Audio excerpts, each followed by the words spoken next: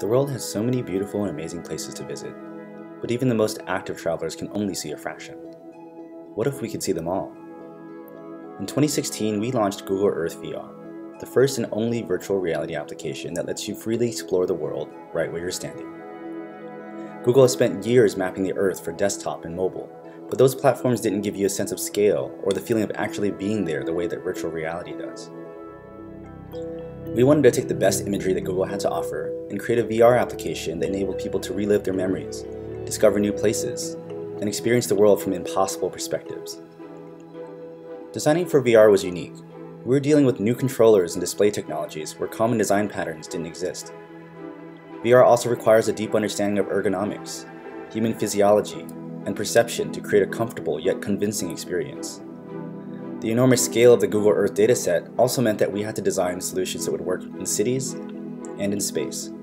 By brainstorming and prototyping solutions alongside engineers and evaluating them with Think Aloud usability studies and cognitive walkthroughs, we were able to balance usability, delight, and performance. Tokyo, look at this!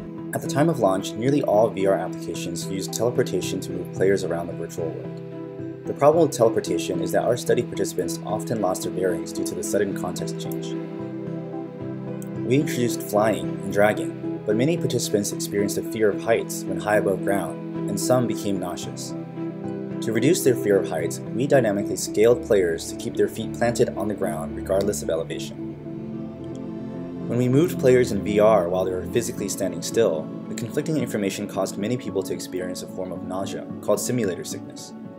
To manage the disparity between the real and virtual world, we created something called tunnel vision which provides visual anchors to the real world and blurs motion in your peripheral vision. We also ran several ergonomic studies to determine the best angular size and placement of UI to maintain legibility and make elements easy to hit with the laser.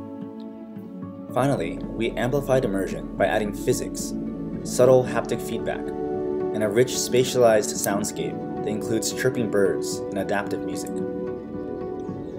Since launch, EarthVR has been downloaded over 370,000 times on Steam and is ranked the second most downloaded VR app on the platform. The community response has been overwhelmingly positive.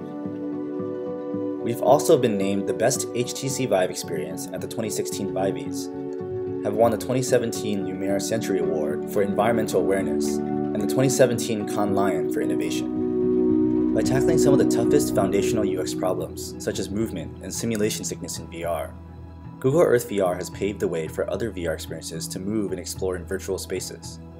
And we're only beginning to scratch the surface.